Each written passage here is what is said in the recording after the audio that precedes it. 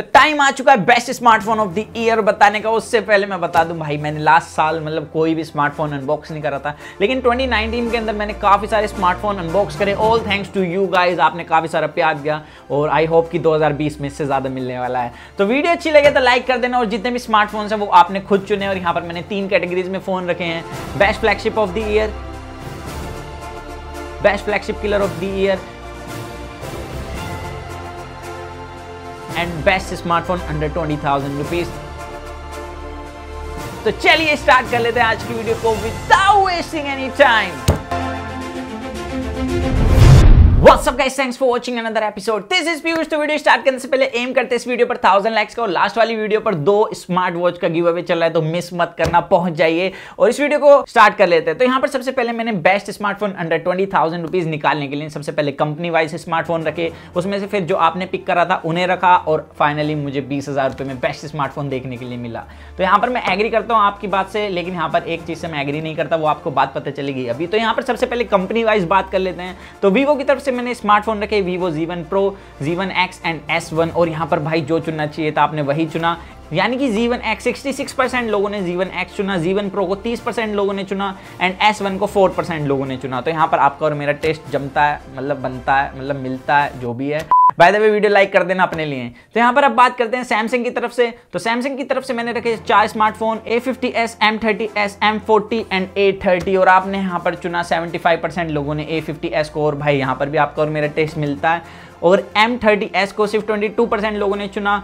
M forty को दो percent लोगों ने एंड ए थर्टी को सिर्फ़ एक परसेंट लोगों ने। Wow what is by the way यहाँ पर सैमसंग और वीवो की तरफ़ से हमें स्मार्टफ़ोन मिल चुके हैं लिस्ट में। और रियलमी की तरफ़ से मैंने स्मार्टफ़ोन रखे यहाँ पर चार Realme X2, Realme XT, X5 Pro और यहाँ पर 88 परसेंट लोगों ने भाई X2 को चुना एंड चुनने वाली चीज़ भी है और XT को सिर्फ़ सात परसेंट लोगों ने चुना। और यहाँ पर एक्स को चुना सिर्फ़ तीन परसेंट लोगों ने फाइव प्रो को चुना सिर्फ़ दो परसेंट लोगों ने। तो यहाँ पर भी हमें विनर मिल चुका है। अब बात करें Redmi की तरफ़ से तो यहाँ पर मैं आपके बातों से एग्री नहीं करता क्योंकि यहाँ पर मैंने चार ऑप्शन रखे थे। Redmi Note 8 Pro, Mi A3, K20 and Note 7 Pro. और यहाँ पर आप में से 72 परसेंट लोगों ने Note 8 Pro को चुना और मेरे हिसाब से भाई K20 होना चाहिए था।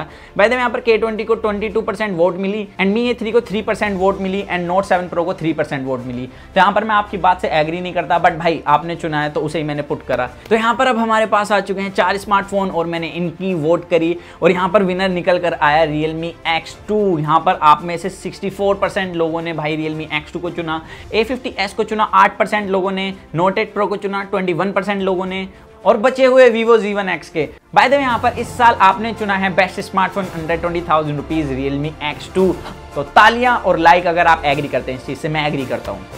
तो अब बढ़ते हैं अपनी नेक्स्ट कैटेगरी की तरफ़। Best flagship killer of this year और यहाँ पर मैं आपकी बात से एग्री नहीं करता। यहाँ पर मैंने चार स्मार्टफ़ोन रखे थे। S ten E OnePlus seven T Pro Realme X two Pro and Redmi K twenty Pro और आपने सेवन परसेंट दिए सिर्फ़ वोट एस टेन ई को। और यहाँ पर नेक्स्ट स्मार्टफ़ोन मैंने रखा था वन प्लस सेवेंटी प्रो जिसको आपने दिए सिर्फ़ पंद्रह परसेंट वोट और रेडमी के ट्वेंटी प्रो को दिए पंद्रह परसेंट वोट तो भाई रियलमी एक्स टू प्रो एक अच्छा स्मार्टफ़ोन है। लेकिन अगर आप प्राइस देख रहे हैं सिर्फ़ जबील वरना मेरे हिसाब से इस साल का best flagship killer OnePlus seven T Pro रहेगा। Because of U I because of camera और यहाँ तक कि भाई उसकी डिस्प्ले काफ़ी तगड़ी है मतलब कर डिस्प्ले देखने के लिए मिलती है। और रियलमी एक्स का UI इतना अच्छा नहीं है टू बी ऑनेस्ट मैंने ये फ़ोन यूज़ करा हुआ है। बाकी स्मार्टफ़ोन अच्छा है, लेकिन note as OnePlus seven T Pro और वन प्लस सेवेंटी प्रो अगर आप खरीद कर बेचते हैं तो आसानी से बिक जाएगा। रियलमी एक्स टू प्रो आसानी से नहीं बिकेगा। और ये मैं अपने एक्सपीरियंस से बोल रहा हूँ, क्योंकि मैंने स्मार्टफ़ोन बाय करा था, उसे बेचने में मुझे करीब करीब एक हफ़्ते के अंदर पाँच हज़ार रुपये का नुकसान हुआ तो आप अंदाज़ा लगा ही सकते हो। तो मेरे हिसाब से यहाँ पर जो अवार्ड मिलना चाहिए था, वो वन प्लस सेवेंटी प्रो को मिलना चाहिए था। बाय द वे अगर आपने चुना है तो रियलमी एक्स टू प्रो इस साल का बेस्ट फ्लैगशिप किलर रहेगा।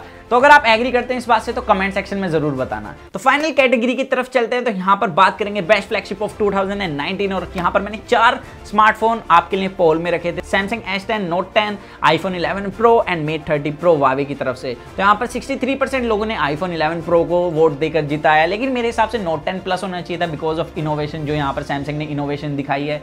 मतलब डिस्प्ले में बेजल्स काफ़ी कम देखने के लिए मिलते हैं। एक परफेक्ट कैमरा सेटअप है और मेरे हिसाब से आईफोन से अच्छा कैमरा देखने के लिए मिलता है आपको बैक पर। एंड साथ साथ जो इसका डिज़ाइन है, वो ज़्यादा अट्रैक्टिव है। तो आप मुझे कमेंट सेक्शन में बताइए कि आप इस बात से एग्री करते हैं नहीं करते। बाय द वे आपकी तरफ़ से जो अवार्ड दिया गया है बेस्ट फ्लैगशिप ऑफ़ 2019 वो आईफोन 11 प्रो को दिया गया है। तो अगर आपको वीडियो अच्छी लगे तो लाइक कर देना कमेंट कर कर बताना। Best part of this video और अगर आप किसी चीज़ से एग्री नहीं करते तो कमेंट सेक्शन में बताना। वीडियो अच्छी लगे तो लाइक कर देना। और बेकार लगे तो डिसलाइक कर देना, और कमेंट सेक्शन में ज़रूर बताना कि क्या इंप्रूव करने की ज़रूरत है। सो दैट्स इट गाइस आज की वीडियो में सिर्फ़ इतना ही था। तो मिलते हैं जल्दी कूल और एक्साइटिंग वीडियो में। जब तक के लिए जॉमन mag to watch your heart with that champion box, guys.